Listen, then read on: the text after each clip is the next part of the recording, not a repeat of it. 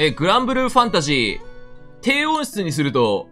あまりにも音質が悪すぎて、ビビる。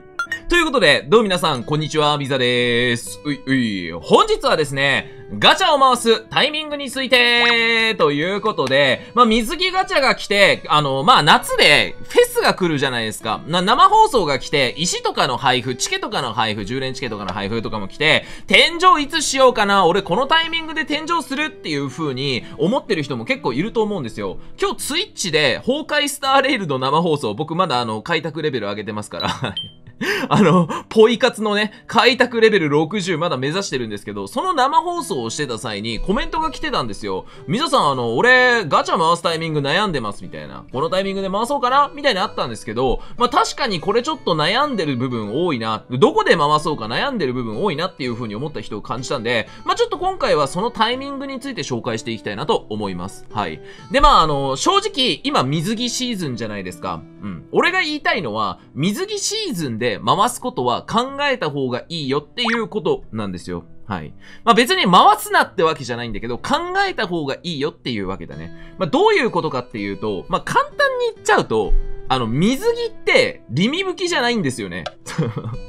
リミ吹き限定なんだけど、武器が微妙になってるんですよ。ここは俺マジで考えた方がいい部分だと思ってて、まあ今の水着キャラクターって、まああの本当に欲しいのかどうかっていうところは少し考えた方がいい部分だと思う。うん。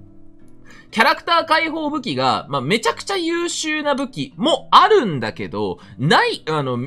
基本的にリミ武器の方が優秀じゃないですか。例えば水着で優秀だねって言われてる武器としては、ティコの武器ですね。ティコの武器は、えっ、ー、と、真意と治癒がついてて、まあ、高難易度とかフルオートとかで役立つんじゃね？とか言われてたりとか、まあ、ちょっと水着じゃないんだけど、バレンタイングリームニルの、バレンタインのグリームニルの槍とかは、ルペルカリアってやつ。まあ、これだったら短期編成とかでもね、めちゃくちゃ採用されたりする武器なんだけど、基本的にリミテッドじゃないよね。で、まあ、今ってリミテッド武器を引くことによって、啓示っていうアイテムも手に入れることができるんですよ。そう、啓示っていうアイテムは、例えば、まあ今だったら話題になってる土の人形編ですよね。攻撃覚醒のリミテッド武器の覚醒のレベルを上げたりすることもできるし、うん。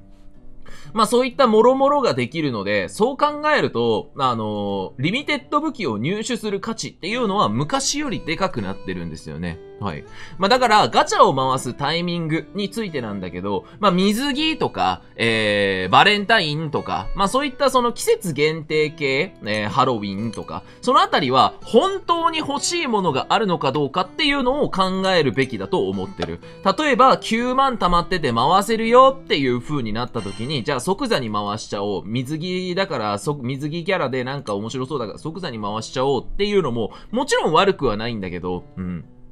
まあ、あの、キャラクターとかも考えてみて、まあ、今環境で使われてるこのキャラが欲しいとか、まあ、あの、例えばね、えー、まあ、水着クビラが欲しいですと。非属性の水着クビラは、マジで、あの、俺は最強だと思ってて絶対使おうと思ってる。だから回しましょう。とかいう、そういう思考だったらいいと思うんだけど、まあ、例えばだけど、土のフォリア、なんか強いって言われてるから、取っちゃえ みたいな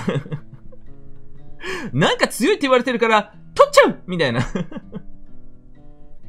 まあそういうのはちょっと考えてもいいかなっていう風に思ったかな。うん。まあ今水着シーズンで、まあこれからしばらく続いていくわけなんだけど、リミテッド武器、まあそれに付随する啓示とかを想定する場合って、まあちょっと、あの、割と待ちやすいよね。8月の中頃とか、まあ9月とか、まあそのあたりまで待てば、まあリミテッド武器のピックアップっていう風になるんで、まあ自分が欲しいリミ武器が来てるのかどうかっていうのもまたそれで判断していかなきゃいけない部分ではあると思うんだけど、水着は少なくとも俺から言える、気をつけた方がいいなっていう風に思う部分としては、キャラクター解放武器がリミテッドじゃないっていうことがあり、あり得る。うん。で、まあ普通のキャラ武器よりも基本的に強いことが多いんだけど、まああのやっぱり刑事とかもついてこないし、まあそのあたりどうしようかなとか、そのあたり本当に大丈夫かなとか、まあその、あの、そういう部分に関しては考慮しながら回した方がいいかなっていうふうに思いました。今使うのかなとか、まあ最新のこれでやりたいけど、本当にこの状況で使いたいんだけど、本当にこれ大丈夫かなとか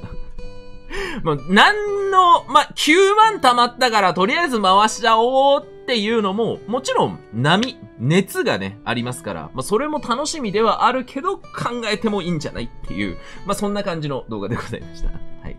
まあ、ガチャを回すタイミングに、えーついて悩んでる人もいそうだったので、今回は紹介です。参考になれば幸いでございます。ほな、またお会いしましょう。じゃあねーん。バイバイ。